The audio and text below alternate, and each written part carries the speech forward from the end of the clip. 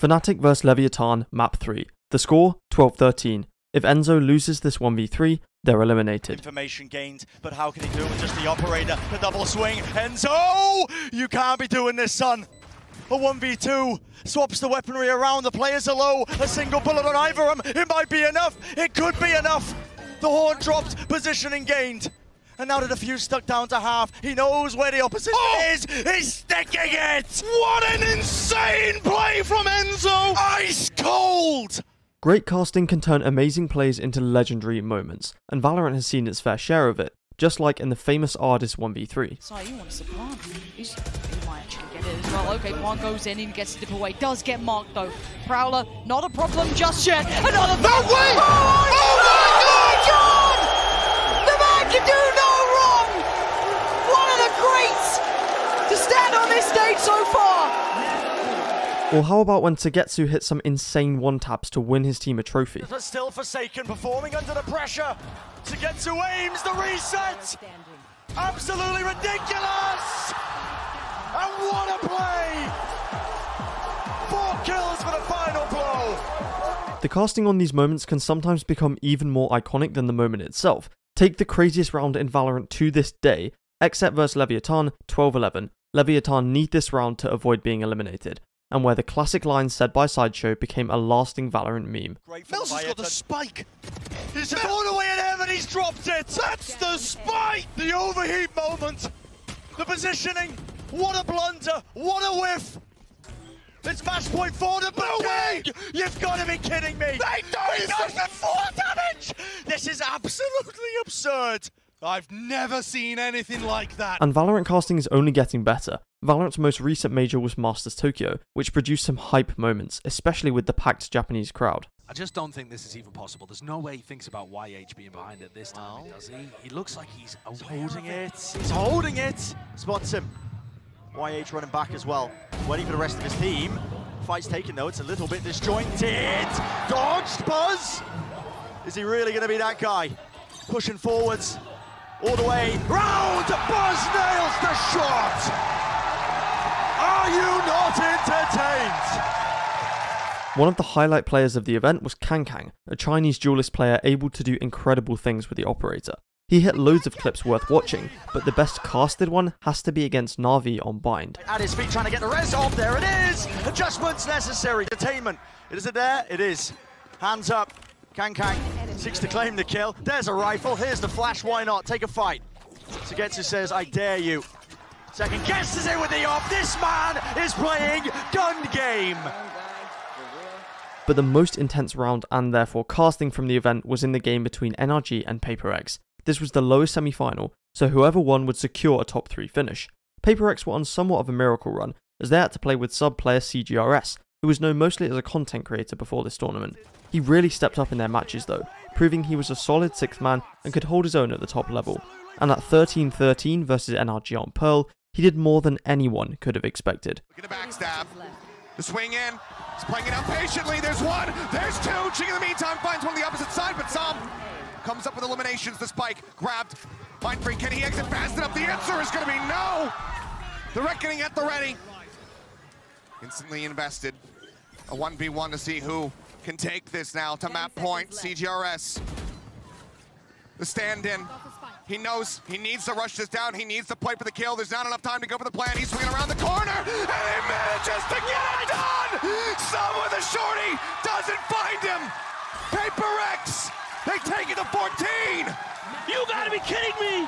The sub for Paper Rex at the last second again! Not all great casting is in English though, of course. Some calls are so good that they transcend language barriers. A perfect example is Yay's ace versus the guard and Masters Reykjavik, and the Japanese caster's reaction. Yay!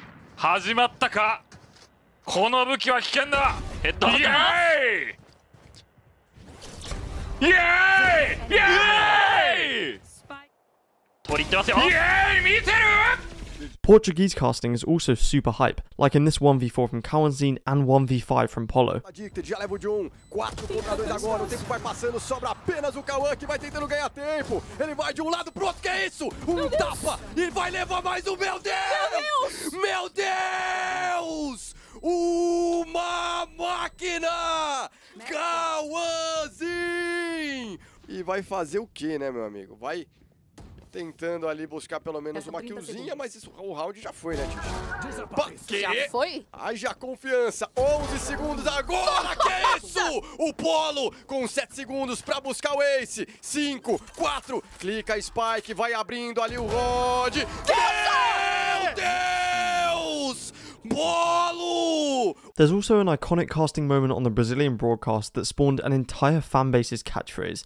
If you've ever seen Gira Aspas with the tornado emoji, this is where it comes from. Ataque Aspas aparece também, pancada, e agora só falta um, é o Screen, na Ultimate tem que tomar cuidado, dois contra um agora pra ele, o Aspas, gira, vai pro lado, vai pro outro, Aspas, gira, Aspas, garante o ponto. Usually casts in other languages come with regional pride too, and no clip demonstrates that better than the Italian broadcast's reaction to their team DSYRE getting their first map win at EMEA Ascension. Oh mamma mia qui entrata da parte degli Ascend. No way. Musashi la prima, no non ci credo, non ci voglio credere. Non voglio crederci. Kaiden adesso, l'angolo strettissimo, vede l'uscita da parte di Musashi, lo scambio, comunque uno contro uno. Tag! Tag! But my personal favourite non English casting has to be from this guy, Sergio Ferrer. He's a caster who is signed to Koi and casts over their Valorant matches for Ibai's watch parties. He's not just a caster though, he must be some sort of rap god. Just listen to this clip. Esa torreta que no le puede spotear porque finalmente estaba destruida. Vamos a ver cómo lo puede hacer Colda. Tiene un jugador a la derecha. Colda que consigue acabar con la vía. El primero salta. Aguantando Face. Ahora también saca la clase. Le quiere saltar. Le quiere pegar el right click. Consigue saltar la triple Colda meta. Tirando rápidamente el arrow. ¡Colda! ¡Colda! ¡Colda! ¡Colda! ¡Colda! ¡Colda! ¡Colda! ¡Vamos! ¡Vamos! On the other side of that coin, sometimes plays are so unbelievable that you just can't find the words. Brown and Sideshow were so shocked in this clip of RB that they let just a second of silence do all the talking. But what can be done here with the spike has been dropped down? We have no tools to try and reclaim this one, and it's a double up. In fact, even the ultimate being committed here. What? Spray down! And a lockdown will not do squat! Doesn't hope to pick up the rifle, wants to play fast into this one because he knows Abby's low, and the Warbangs. Five bullets. Surely he goes Abby swings! And wins the 1v1! Another unbelievable play in Valorant with great casting is Nat's 1v3 against G2 at Masters Berlin. He turns what seems like an unwinnable round into an insane clutch, which eventually snowballed into a 13 0 for Gambit. Just Nats, he thought he'd given his team a free pass in towards the A site. Instead, he sent them to their death. We thought Nats had snuffed by Mixwell. It turns out it was the other way around. Nats now having to clutch this one out. No idea where Mixwell is, and the snake bite not quite clearing the angle. He's about to run to site reloading, and Mixwell completely whiffs. Nats actually notches it out. Three kills, five rounds. There seems to be no way for G2 to get off the starting point. If you're looking for unwinnable rounds though, look no further than Scary's recent 1v4 in the Pacific Ascension tournament, the clutch that many are calling VCT's new best clutch ever. 14 seconds left, a 12 9 scoreline, and 4 enemies in his way, but Scary still manages to clutch it. And of course, with a play so crazy and Achilles on the mic, you're bound to get some great casting. Time on a crystal. Plays it patiently. He swings back in. But 12 seconds. And they can just scatter to the wind. The fault line will connect. He's got the spike. He's to TP across the map. Can he get it in time? It's to be so damn close, but I believe he has it.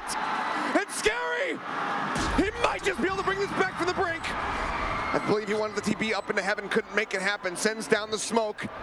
And my God, what a position to be in. Unthinkable.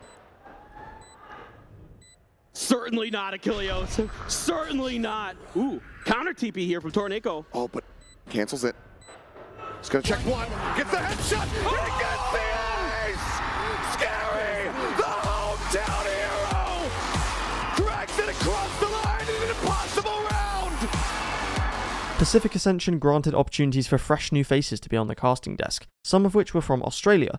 They did an incredible job, garnering loads of praise from the community, with rounds like this from Boom versus Zersha. One before for Famous, but he does start strong. you That's too. at least one. Exactly right, Komodo. Satchel out, alert spotted, on the groove, on the move, Famous. The paparazzi, they are out. They have lined together. Oh! And it's a camera starring moment. Famous. Give this man a bloody Oscar. But as new casters come, old ones go. And a duo many Valorant fans miss is DDK and Sean Gares, who casted back in 2021. One of their best ever moments has to be this 1v3 from Scream. Just pure hype. From CNED, opportunity for Scream if he can find him. There we go, Scream looking to make it happen. Oh my god, Scream gets himself an ace! If that doesn't bring Liquid back into this, I don't know what will. Great caster reactions don't always come from round winning plays though. This moment from Champions 2022 is exactly the opposite of the last, even down to the same player. It's even been commemorated in game with this spray, and Tombizz perfectly did it justice with the call. This is brilliant from Victor! He's waiting to get that final kill, and I think Scream has made the realization. He's gonna knife him to get them their fifth round! Embarrassment for Scream, and elation for Victor. Those are a handful of Valorant's best caster reactions and calls so far, but don't forget that Valorant is a young game and there's sure to be many more to come. Let me know your favourite personal moments, and give some love to the people who deliver these great matches to us so well in the comments. They deserve it. I've been Commend, subscribe if you enjoyed, and thank you for watching.